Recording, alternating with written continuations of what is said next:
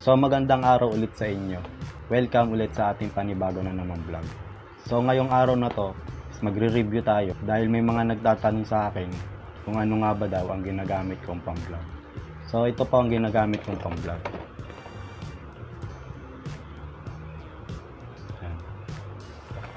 Bali itong action cam na to is ito yung tinatawag na OSEC N460. At ito yung kanyang specs makikita nyo naman dito. Tingnan nyo na lang, no. So, bubuksan natin, no. Bali, ano ko na to, nagamit ko na to ng mahigit tatlong buwan ko na siyang gamit ngayon, no.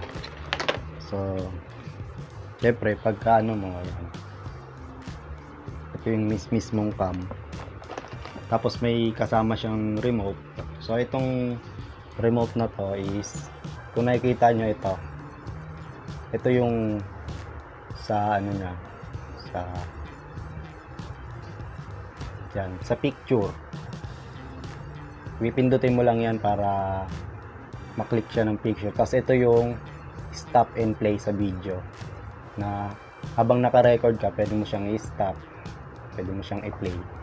So yan. May kasama siyang remote.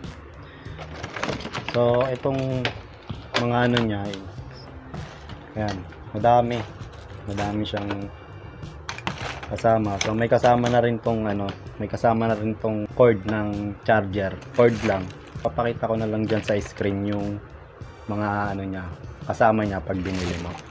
So bali ito, ito, ito yung pinaka stock battery niya ano. Ito.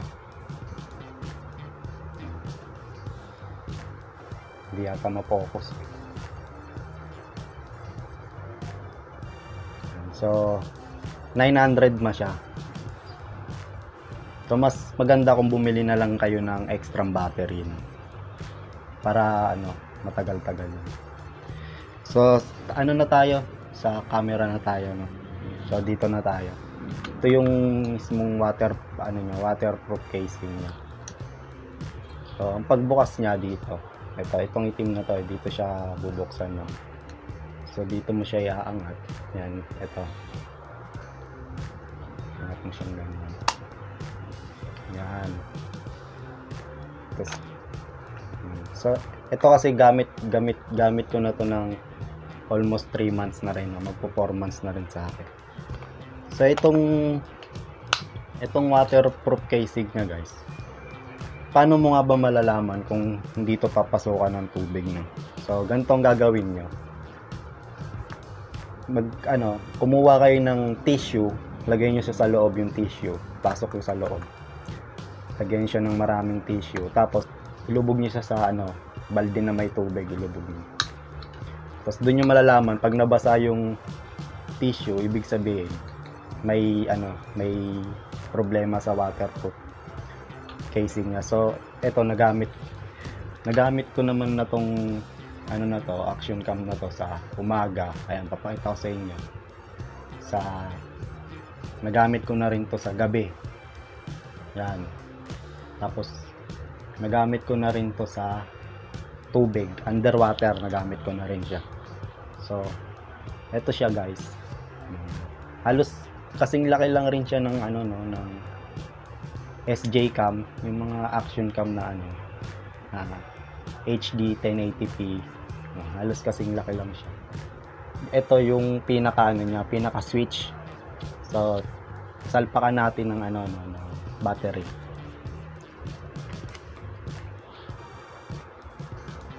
So bali pag nag ano kan pag ang lagayan ng ano nito guys, ng battery nito is dito sa ilalim. Sa ilalim siya. So ito yung takip niya i-slide nyo lang. Tutulak nyo pag lock tapos i-slide nyo lang. So ito yung battery nya sasalpak natin.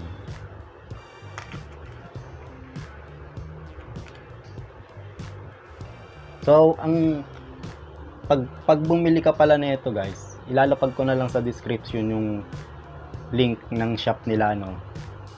Para makabili ka nito So, may kasama na pala tong 32 gig memory card na libre na nila na mabibili mo. So, ito review na tayo sa mismong action cam. So, ito kung nakikita nyo to, ito yung switch. Ito, ayan yung pindutan mo. Yan. Ito yung switch ng on and off. Yan. Tapos, ito yung parang ito, ito, ito. Yan. Yan yung parang monitor na Diyan mo makikita Nyari, pag naka-vlog ka ng ganyan, yung nakaganyan ka. Diyan mo siya makikita. Makikita mo yung minutes, kung nakailang minutes ka na, yung pinaka tamang oras, tapos yung battery, battery life. Yan, diyan mo siya makikita. Tapos ito, ito, ito, itong, ayan, yung parang oblong na yan. Sa charge ata yan, pag nagcha-charge ka. Tapos ito sa wifi. Yan. Op, Oppo, ano po siya, connected po siya sa wifi through cellphone po. Eh, tapos ito yung logo niya. Tapos ito, yung pinaka-lens niya, ano. Bali, ang lens na ito, guys, is in-upgrade ko na, no? Pina-upgrade ko na to dun sa shop. Sa shop na yun. So, ito. Uh, super wide na siya. Punta na tayo sa side, side, ano, ng, ano na to. Ito, ito, ito yung pinaka-on niya. Dito ka mag-on. So, sa side nito, ito, sa taas siya, sa taas. Ito, yung okay. Okay yan, okay. Once na naka-on na tong camera mo, so magpe-play ka dito. Okay. Ito, ito. Nakikita nyo to. Yan. Ito yung charger. Sa charger siya. Pwede siya sa pwede yung charger ng cellphone. Yan ito sa ano yata ito eh, sa USB. Yan, USB cord or di ko di ko alam kasi di ko siya ginagamit. Na ano, wala siyang ano no, bali yung action cam na to guys is wala siyang internal mic. So external siya. Na kapag nag-record ka, mare-record dito. Yung audio niya dito sa mismong action cam. So wala siya nang wala siyang sinasalpakan. Pero meron na silang ano ngayon na magpapakabit ka ng jack. So dito na tayo sa kabila. Yan. so ito yung sa settings. Sa settings yan. Mamaya papakita ko sa inyo. Tapos tapos ito sa ilalim battery. Yan. sa battery niya. Tapos ito. Ito ito. Yan Diyan, sasal, diyan sasalpak yung memory. So, hindi natin masasalpak dito yung memory card, guys. Kasi nga, nag-export ako ngayon sa cellphone ng in-edit kong video. So, magagamit, matit, ma-open naman to kahit ano eh, kahit walang memory. Tara, buksan natin. Lipat lang natin yung camera nito para ma-view natin tong action cam.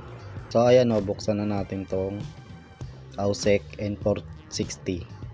Yan. So, pagbubuksan mo siya dito, Yan, ilaw yon Yan.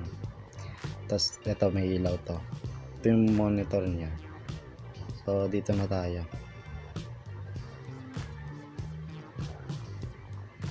Yan.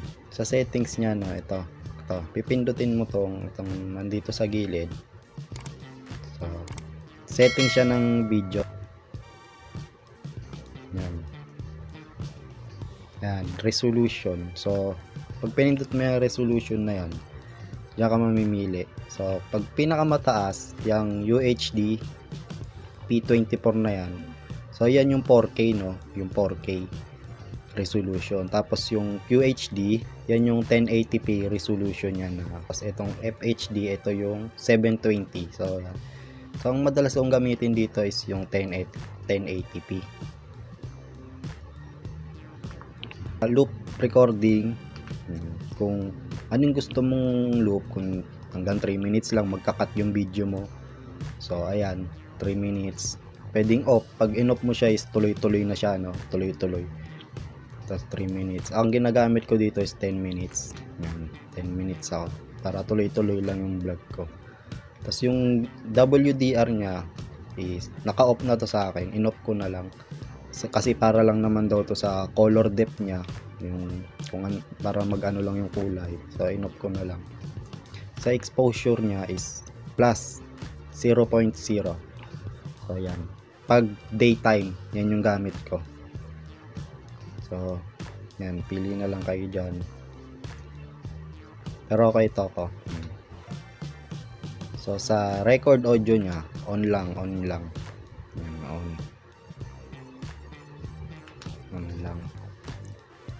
tapos sa gyro ito yung stabilize nya gyro. Yan. naka-on lang rin sa akin. Date stamp. Ito yung pag nagre-record ka no tapos natapos mo na yung record pag tingin mo doon sa files na yon may nakalagay dito.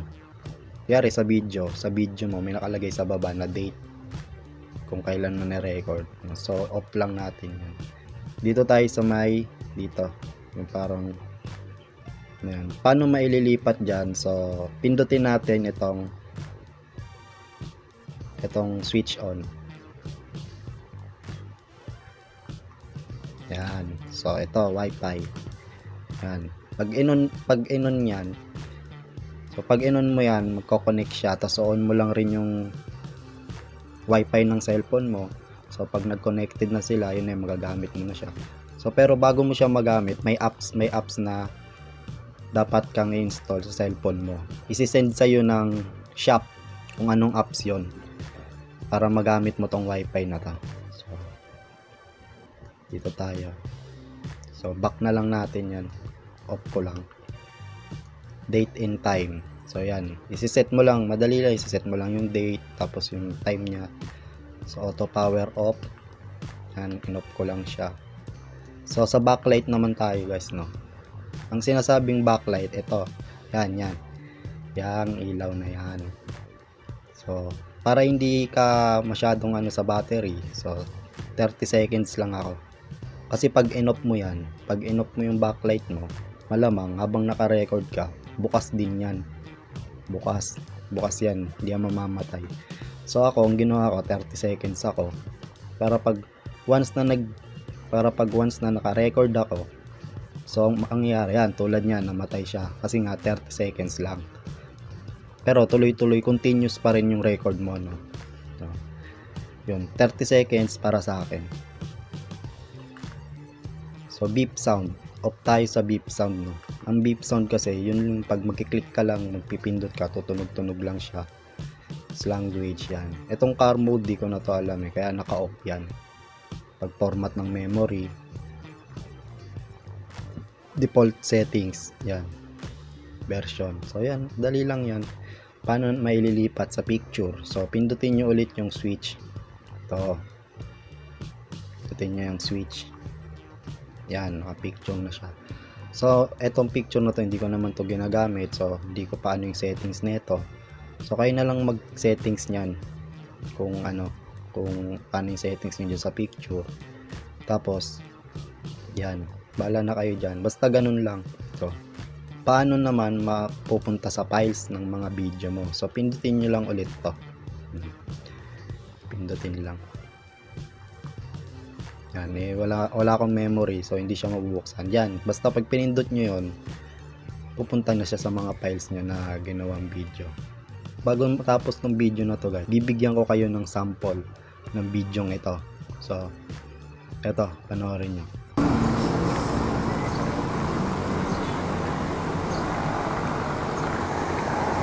So ayan, gamit na natin yung Ausec N460 no.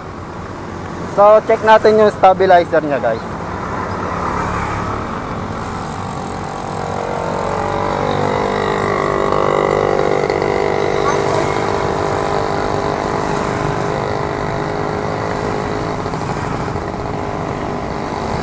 So ayan, nakikita nyo yung stabilizer niya no. So kung sa sa audio naman siya, okay din siya. Ayan, naririnig nyo naman ako. Sa lawak ng vid ng kuha ng video niya no is naka super wide angle na siya. So ayan.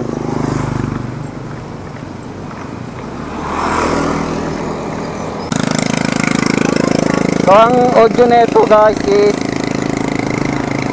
naka-external siya no. Ibig sabihin wala siyang saksakan ng mic So sa mismong action cam tayo nakakasagap ng audio, no? So, para sa akin, napakasulit ng action cam na to.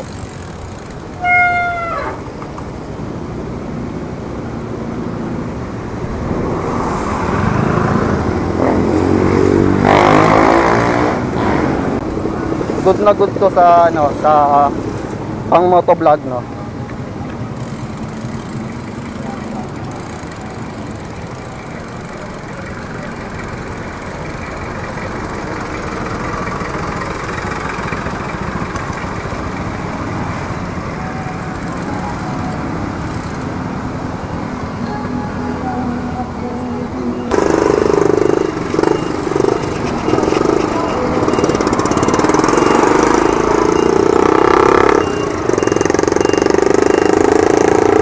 So, ayan.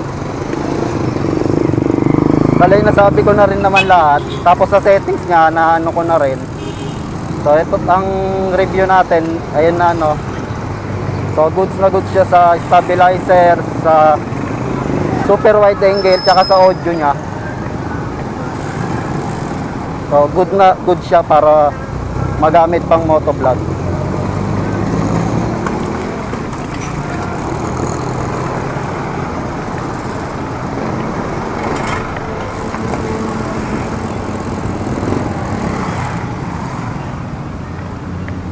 So hanggang dito na lang yung pagre-review natin no, sa action cam na to na Ausec N460 ng ALX action cam.